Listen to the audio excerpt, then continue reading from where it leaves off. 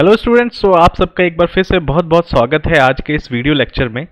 इस वीडियो में हम कवर करने वाले हैं बेसिक साइंस क्लास एट्थ का inside the atom chapter basically इसके हम कुछ इंपॉर्टेंट टॉपिक्स इस वीडियो में कवर करेंगे। सो so, चलिए देर न करते हुए आज का लेक्चर हम स्टार्ट करते हैं। सो so, आप सब देख सकते हैं आपकी स्क्रीन के सामने आ चुका है हमारा पहला टॉपिक जो कि है एक्स्ट्रा न्यूक्लियर पार्ट तो देखिए एक्स्ट्रा न्यूक्लियर पार्ट होता क्या है? ओके तो आपके लिए यहाँ पे मैंने एक डायग्राम ली है, जिसकी मदद से मैं आपको ये टॉपिक थोड़ा बहुत समझाऊँगा, ठीक है? तो आप देख सकते हो, ये क्या है? एक एटॉमिक मॉडल है। तो इसमें जो सबसे बीच में ये जो पार्ट है, ये हमारा कौन सा पार्ट है? ये हमारा न्यूक्लियर रीजन है। तो बेसिकली देखिए, होता क्या है कि आपने देखा होगा, ये हमारा न्यूक्लियर रीजन हो गया। इसका जो दूसरा शेल ये हमारा बनता है, फिर उसका तीसरा शेल ये हमारा बनता है। तो बेसिकली होता क्या है? ये जो न्यूक्लियर वाला, बीच वाला रीजन है। इसमें आपके न्यूट्रॉन्स प्लस प्रोटॉन्स दोनों मौजूद होते हैं। प्रोटॉन्स जो होते हैं वो पॉजिटिव चार्ज पार्टिकल्स होते हैं और जो आपके न्यूट्रॉन्स होते हैं वो न्यूट्रल होते हैं। ओके स्टूडेंट्स सो बेसिकली क्या है? ये आपका न्यूक्लियर रीजन है और यहाँ पे आपके करीब इलेक्ट्रॉन्स जो होते हैं वो मौजूद होते हैं। तो इन बिटवीन में ये जो आपका रीजन आ रहा है ना, ये इन बिटवीन में, ये आपका बेसिकली एक्स्ट्रा न्यूक्लियर पार्ट है। सो so, आप सब इसकी डेफिनेशन भी पढ़ के थोड़ा बहुत आइडिया ले सकते हैं. The extra nuclear part in the atomic structure includes electrons revolving around the nucleus so basically ये देखिए न्यूक्लियस है. इसके इर्द गिर्द रिवॉल्व करता रहते हैं कौन? इलेक्ट्रॉन्स ठीक है? And the empty space in between the nucleus and the electron तो होता क्या है, ये जो इलेक्ट्रॉन्स हैं, ये रिवॉल्व अराउंड करते रहते हैं इसके। तो बेसिकली ये जो इसके बीच की एम्प्टी स्पेस है ना, खाली जगह आपको दिख रही है, ये होती है हमारा एक्स्ट्रा न्यूक्लियर पार्ट इसको एक्स्ट्रा न्यूक्लियर रीजन भी बोला जाता है। ओके स्टूडेंट्स आई होप आपको ये वाला टॉपिक बहुत अच्छे से समझ में आ चुका होगा। चलिए अपने नेक्स्ट टॉपिक की तरफ़ बढ़ते हैं आगे। सो स्टूडेंट्स चलिए अब अपने अगले टॉपिक की तरफ़ बढ़ते हैं, जो कि है इलेक्ट्रॉन्स इलेक्ट्रॉन्स के बारे में सीखेंगे हम बहुत ही अच्छे से।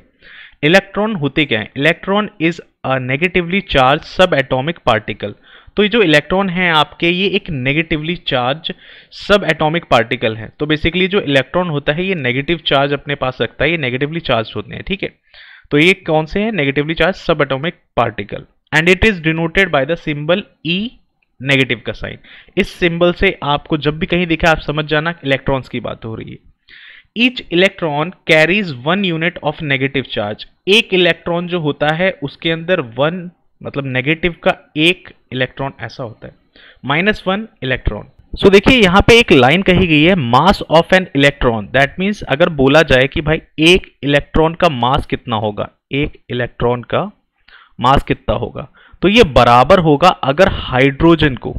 अगर हाइड्रोजन को हम करीबन 1800 पार्ट्स में डिस्ट्रीब्यूट कर दे दैट मीन्स डिवाइड कर दे तो जो उससे हमें एक पार्ट मिलेगा ना वो उसके बराबर होगा किसके? मास ऑफ़ वन इलेक्ट्रॉन तो एक इलेक्ट्रॉन के मास जो होता है वो 1800 का एक हिस्सा हाइड्रोजन का उसके बराबर होता है। ओके स्टूडेंट्स आई होप ये बात आपको क्लियर हो गई होगी। सो so, चलिए अब अपने आखिरी पॉइंट की तरफ़ पढ़ते हैं। The number of electrons in the extra nuclear part तो बेसिकली यहाँ पे बोला है कि भाई ये जो बीच का एक्स्ट्रा न्यूक्लियर पार्ट है ये आपका न्यूक्लियस है है ना, जिसको जेड साइन से हम जानते हैं। तो ये जो बीच में एक्स्ट्रा न्यूक्लियर पार्ट है, इसमें कितने आइटम्स मौजूद होंगे? सो so बेसिकली इसमें नंबर ऑफ़ इलेक्ट्रॉन जितने भी होंगे ना, वो बराबर होंगे to the number of protons जो इसके अंदर नंबर ऑफ़ प्रोटॉन्स मौजूद होंगे ना नंबर ऑफ़ प्रोटॉन्स उसके बराबर होंगे number of electrons in the extra nuclear area तो यहाँ पे अगर मैं आपको यही बात शॉर्ट में समझाऊं तो ये बोला गया है कि भाई ये जो न्यूक्लियस के अंदर नंबर ऑफ़ प्रोटॉन्स हैं will be equal to number of electrons जो ये एक्स्ट्रा न्यूक्लियर पार्ट में घूम रहे होंगे। आई होप ये बात आपको बहुत अच्छे से क्लियर हो चुकी होगी। तो चलिए अब अपने नेक्स्ट टॉपिक की तरफ़ आगे बढ़ते हैं ओके स्टूडेंट्स सो स्टूडेंट्स आज का हमारा लास्ट टॉपिक पे हम आ चुके हैं, जिसमें बात की जाएगी डिस्ट्रीब्यूशन ऑफ़ इलेक्ट्रॉन्स के बारे में। तो आप यहाँ पे देख सकते हो, हमने एक पूरे जो एटॉमिक अपना मॉडल है, उसके शेल तैयार कर लिए हैं। तो देखिए, ये आपका न्यूक्लियस वाला पार्ट है। इसके बाद ये जो पहला आपका शेल बन रहा है, इसको के नाम से जाना जाता है बेसिकली किस नाम से? के नाम से। उसके बाद आता है अगला एल फिर आता है एम और फिर आता है एन तो यहाँ पे मैंने कुछ इंपॉर्टेंट पॉइंट्स भी लिखे हैं, जो आप भी नोट डाउन कर सकते हो इस वीडियो से। तो इस पर भी एक बार गो थ्रू कर लेते हैं। As per Bohr's atomic model electrons revolve in stable shells तो यहाँ पे कह रहा है कि भाई बोर्स का जो एटॉमिक मॉडल है, उसके अकॉर्डिंग जो इलेक्ट्रॉन्स हैं, वो ये जो स्टेबल शेल्स हैं ना आपके, इसके इर्द गिर्द रिवॉल्व करते रहते हैं, घूमते रहते हैं।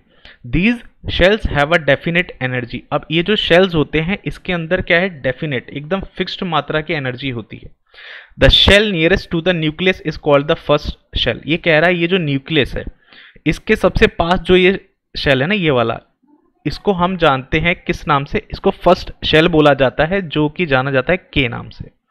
Okay students the next shell is called the second shell ये जो अगला वाला है, जिसको हम एल बोल रहे हैं, ये आपका सेकंड शेल है। A symbol n is use for the ordinal number of a shell तो ऑर्डिनल नंबर की बात की गई है तो नॉर्मली ये वन टू थ्री फोर इनकी बात की गई है।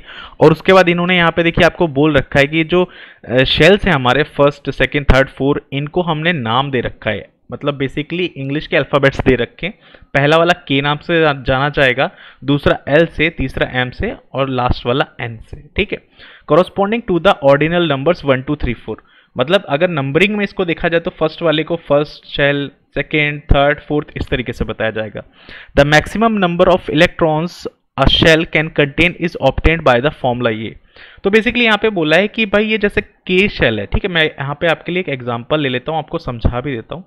कि मान लीजिए के एल एम और एन ये मैं एक छोटा सा चार्ट बना दे रहा हूँ आपके लिए, जिससे हम क्या करेंगे? नंबर ऑफ़ इलेक्ट्रॉन्स निकालेंगे, कि एक एक शेल में कितने नंबर ऑफ़ इलेक्ट्रॉन्स हो सकते हैं, ठीक है?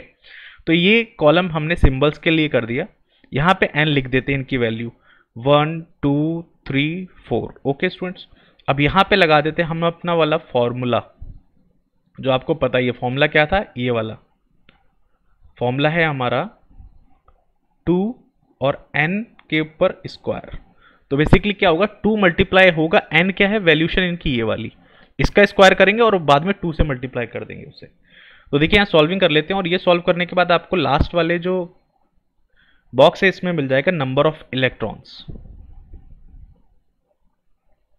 तो देखिए फॉर्मूला के अकॉर्डिंग यहाँ पे लगाएँगे तो यहाँ पे होगा भाई टू इंटू वन का स्क्वायर यहाँ पे हो जाएगा टू इंटू टू का स्क्वायर, यहाँ हो जाएगा टू इंटू थ्री का स्क्वायर और इधर हो जाएगा टू इंटू फोर का स्क्वायर।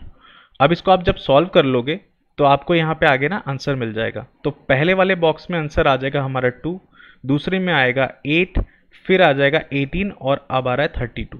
तो बेसिकली यहाँ पे हुआ क्या है, जो लास्ट में यहाँ पे एक लाइन कही है the maximum number of electrons a shell can contain is obtained by the formula तो ये बोल रहा है कि ये जो के वाला शेल है, इसमें मैक्सिमम नंबर ऑफ़ इलेक्ट्रॉन्स कितने हो सकते हैं, वो इस फॉर्मूले से हम निकाल सकते हैं तो यहाँ पे मैक्सिमम हो सकते हैं टू एल शेल की बात की जाए तो यहाँ पे एट हो सकता है एम की बात की जाए यहाँ 18 हो सकता है और एन की बात की जाए यहाँ 32 मैक्सिमम नंबर ऑफ़ इलेक्ट्रॉन्स हो सकते हैं इस शेल के अंदर. As the magnitude of n increases अब देखिए यहाँ पे जो वर्ड है ना मैग्नीट्यूड इसका मतलब क्या होता है? मैग्नीट्यूड का मतलब होता है, जैसे मान लीजिए इस फॉर्मूले की मैं बात कर रहा हूँ तो इस फॉर्मूले में ये जो पहले वैल्यूशन लिखी है ना न्यूमेरिक वैल्यू किसी भी यूनिट से पहले की न्यूमेरिक वैल्यू होती है तो फिजिक्स में उसे हम मैग्नीट्यूड कहते हैं। सो so, यहाँ पे ना इसी की बात की जा रही है कि जैसे जैसे यहाँ पे n की वैल्यू इंक्रीज होगी वैसे वैसे क्या होगा the energy of an electron in that shell increases तो वैसे वैसे देखिए इसकी एनर्जी भी इंक्रीज होती जाएगी। आई होप ये टॉपिक आपको बहुत अच्छे से समझ में आ चुका होगा। आज की वीडियो आपको कैसे लगी ये बताना मत भूलिएगा। आप और किस टॉपिक पे चाहते हैं आगे मैं वीडियो बनाऊँ वो कमेंट सेक्शन में आप बता सकते हैं। सो so, आपसे जल्द मुलाकात होगी अपने नेक्स्ट लेक्चर में। Till then take care have a nice day